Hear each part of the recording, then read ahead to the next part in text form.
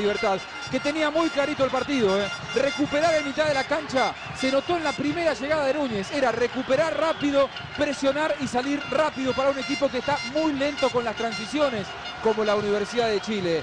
Buenísimo, extraordinario. Primero lo de Cáceres quedándose con un rebote y con una pelota de... Apareció Lorenzetti y empata la U. Uno para Libertad, uno para Universidad de Chile. Gustavo Lorenzetti lo hizo. No ha tenido muchos de estos espacios Lorenzetti en el partido. Por primera vez logra la Universidad de Chile darle un par de metros por detrás de los mediocampistas centrales